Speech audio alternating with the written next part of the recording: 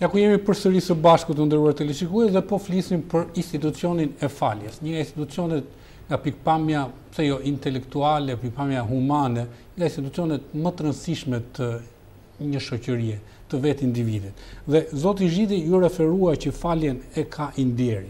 Në këtë rast në një farë mënyre kush është idealist reflekton ndaj asaj që është përtej njerëzimit. Por ne të qëndrojmë me këmbë në tokë dhe të flasim për dinjitetin njerëzor në raport me refleksionet që i po vijnë ndaj të shkuarës për të ndërtuar një të ardhme më të mirë. Kemi tashmë një institucion të shtetit shqiptar, i ndërtuar jo më larg se një muaj më parë, nuk është akoma shumë i kudo gjendur në vëmendjen publike, sepse është krejt normale në hapat e para dhe Në një farë mënyre do të studiojë krimet dhe pasojat e komunizmit në shoqëri, që sigurisht do të merret edhe me problemet e këtij lloji.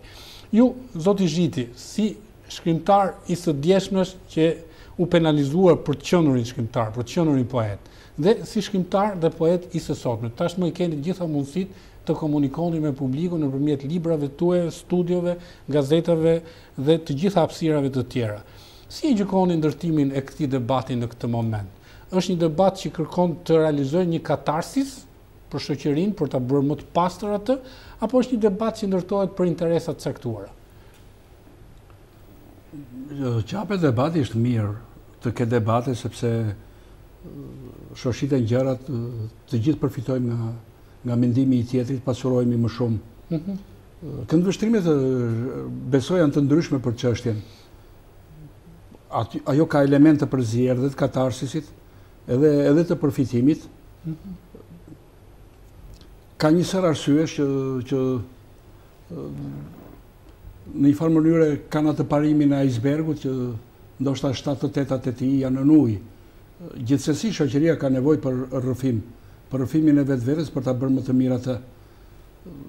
Në këtë drejtim, ai që rrëfen nuk duhet ta zvogëlojë, mendoj, sidomos kur ka përgjegjësinë e një shkrimtari, nuk duhet ta zvogëlojë dhe ta mbyllë thjesht në në guaskën e vetvetes, sepse në një farë mënyre shkrimtari ishte zëri i kolektivitetit të tij. Dhe shpesh herë mua më kujtohet është një psikiatër mhm.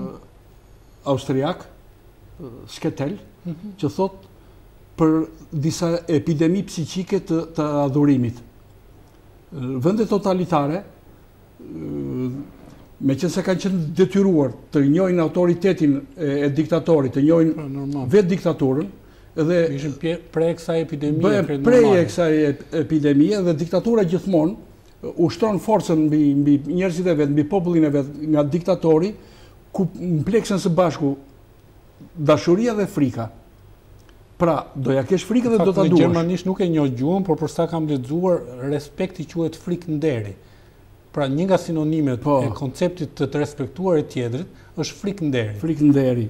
Interesant. Edhe ky për këtë epidemi psiqike të adhurimit, që është dukuri e madhe në vendet totalitare ose edhe post diktatoriale, ku është të adhuruar diktatori dhe tani ne kemi nevojën e adhurimit se jemi mësuar të jetojmë me një adhurim. Tash i autoritarët në kohën e tani, po, nuk kemi më diktator. Tani fillon dhe adhurojnë një një gjendje apo një dukuri e, e asaj kohe. Dhe dhe nuk çlirohemi prej saj.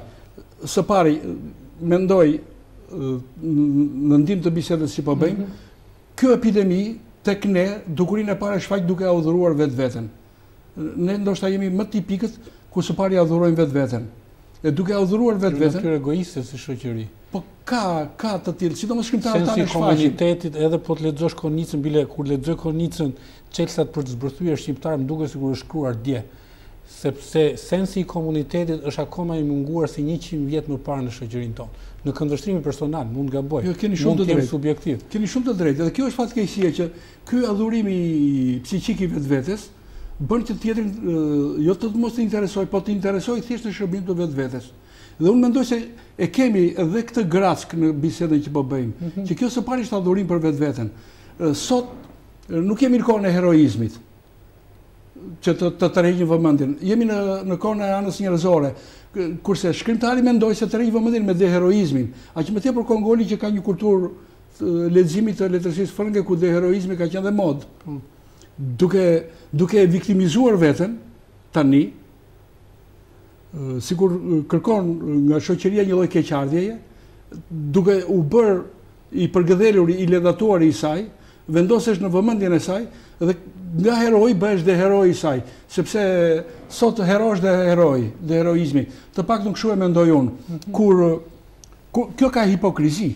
Në qoftë se ne do të do të na shqetësojë vërtet mbarëvajtja e shoqërisë tonë, ne duhet të largohemi edhe nga vetvetja. Kërkoj ndjesë në qoftë se teproj, por ju po flisni dhe për shkrimtarin Fatos Kongoli. Ai ka jetuar në një shtëpi botuse, Në të vetmen shpi botuese Naim Frashëri, ka punuar atje, ka pasur poste përgjegjësie, edhe ai duhet ta dijë shumë mirë se ç'ka ndodhur me shkrimtarët që dënoheshin, pse dënoheshin dhe si dënoheshin. Unë kam pasur rast të komunikoj me të, unë si autor që vija nga fshati, isha mësues në, në veri në një fshat të Kukësit, mhm. edhe kisha sjellë, siç e përmendët ju, librin me poezi, por kisha dorëzuar dhe një libër me, me tregime për adoleshentë që i takonte redaksisë së, së Kongolit. Mhm. Dhe unë e kujtoj. Kaloi libri, u botua? Jo, nuk është botuar libri atëherë. Hyn pjesë, bën pjesë në, në mëkatet e mia për të cilat jam dënuar. Dhe... Ka qenë pjesë e aktakuzës? është pjesë e aktakuzës dhe unë kam, kam komunikuar me Kongolin, më ka pritur atëherë si, si shef i redaksisë, mhm. dhe unë si, Si autor provincial që vija, me adhurimin për shkrimtarët shqiptarë, me adhurimin për librin, për kryeqytetin, dhe e mbaj mend shprehimisht që më ka thënë libri yt nuk botohet se është me ekuivoke. Konsiderojeni si një prelud. Hmm. Pra, edhe mundohu të botosh poezitë më përpara, më ka thënë. Pra, më është mbyllur rruga. Këto detaje të tilla. Ka shkrimtarë të rroposur, por veprat janë ekspertizuar nga nga kolegë, nga shkrimtarë. Po. Në vazhdim të asaj që nisët ju pak më parë, ka patur shkrimtarë që kanë bërë me qejf aktekspertizën e kolegut të tyre, ndoshta edhe fshehurazi dhe pa ua kërkuar.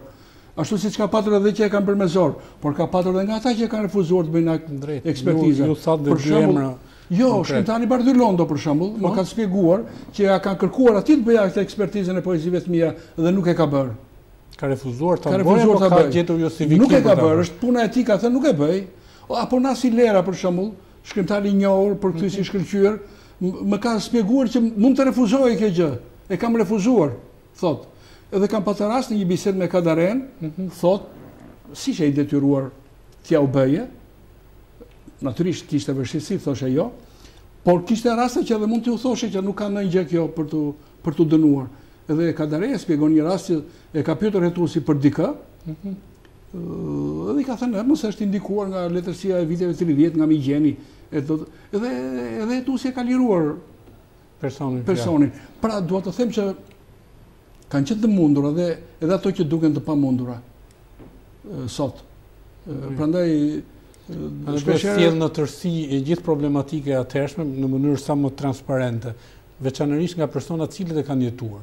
Parimisht, sigurisht duhet dëgjuar edhe Zoti Kongoli në interpretimin e tij dhe Ne, zoti Këngoli, në informacionin tim nuk është në Shqipëri, po, po sigurisht rëndësia e këtij debati dhe fakti që përmendet ai dhe që formalisht ka qenë refleksioni i tij në këndvështrimin tim pozitiv individual, sigurisht këtu mbaron, po këtu mbaron, duhet dëgjuar dhe zoti Kongoli në interpretimin e tij dhe në një debat më të shkuar Me të njëjtën temë kam pasur dhe zotin Agron Tufën, shkrimtar poet, por edhe në cilësinë e drejtorit të Institutit të Studimeve të Krimeve dhe Pasojave të Komunizmit. Kështu që edhe zotin Ardian Klosi vazhdojmë të jemi të hapur për për një për një për të qenë në studio dhe për ta diskutuar nga të gjitha këndvështrimet, sigurisht në varësi të transparencës dhe nevojës për të parë retrospektivën me të tashmen dhe për një perspektivë më të mirë të shoqërisë. Ju, zoti Zhiti, si e gjykoni këtë moment dhe ndërtimin e kësaj? Gjykoni se do të funksionojë për të bërë katarsisin e nevojshëm për artin dhe kulturën, pse jo dhe më gjerë, sepse nuk duhet parë vetëm nga, nga ju që jeni producentë të artit dhe kulturës, edhe shoqëria që është konsumatori, që e lexon, që, që shikon, që na ndjek të ashi, më gjerë, pra për gjithë shoqërinë. E gjykoni pozitive dhe do ta realizojë, po themi qëllimin thelbësor intelektual ky debat i ngritur? Natyrisht me një debat nuk nuk duhet të shpresojmë se do të ngremë apo do të ezaurojmë një çështje, por është shumë i domosdoshëm reflektimi, debati, goditja e mendimeve, ne do të sjellim shumë përvoja dhe secili do të sjellë gjykimin e tij nga eksperienca e vet, nga përvoja e vet, nga fati i tij, do të thosha, mhm. dhe këndvështrime do të jenë të ndryshme, por më pëlqen të kujtoj një filozof të sotshëm francez, mhm. André Glucksmann, që thotë, askush nuk ka të drejtë që të mirën e vet t'jua imponojë të tjerëve, Por ama të gjithë së bashku duhet të mblidhemi dhe të gjejmë ç'është e keqja. Të paktën në në në këto lloj debatesh ne duhet të përcaktojmë ç'është e keqja për të gjithë ne. Sepse shumë herë ashtu siç po e prekni dhe ju, shpeshherë në në këto debate nxjerrim vetveten, më shumë se sa japim mendim për çështjen. Duke dhënë vetveten, kërkojmë dhe interesin e vetes tonë. Natyrisht është normale, por duhet ta shikojmë më gjerë në, në një interes më në emër të së vërtetës, në ndihmë të të secilit, për të sotmen dhe për të ardhmen. Por, siç e thotë dhe, dhe, dhe Orwelli në mënyrë ironike, që ne e dimë si është e ardhmja, mhm. por nuk dimë si ta ndërtojmë të shkuarën, ajo që duhet të jetë themeli i të shkuarës, duhet të jetë e vërteta. Drejt, qoftë se gjen rezultanten e së vërtetës, ke një të ardhme parimisht më të mirë. Po, duke ju referuar ju sigurisht pavarësisht se nuk jeni, po themi, i inkuadruar në, në, në organizimet partiake, jeni besoj vëzhgues i vëmendshëm i politikës. është e vërtetë? Po si çdo qytetar. Si çdo qytetar. Atëherë, mua do më interesonte opinioni juaj, duke qenë lexues i vëmendshëm i politikës edhe në nivel profesional, shoh që herë pas here ka konotacione që të kujtojnë të shkuarën. Për shembull, po. fakti që i drejtohen individve të caktuar në politikë si i biri i filanit, i biri i filanes, ti duhet të kesh kujdes, pavarësisht krahëve. Se sigurisht është, nuk, është, nuk është sekret të thua që në krahun e majtë ka më shumë bij të ish-nomenklaturës. Kjo është, megjithatë, te fakti që përmendet kaq shumë, fakti që përmendet në mënyrë zyrtare, a ndërton kjo themelet e një lufte të re klasash një a ndërton sigurisht nuk mund të jetë kurrsesi ajo lufta e dikurshme e klasave po. sepse ne jetojmë në demokraci pavarësisht të tërash. Por a ka konotacione të ngjashme një gjë e tillë sipas mendimit tuaj? Po natyrisht që ka atavizma dhe po. dhe shoqëria jonë vjen nga ajo kohë dhe ne nuk kemi marrë një shoqëri tjetër nga jashtë. Jemi ata që ishim dje. Por tani kemi një vizion të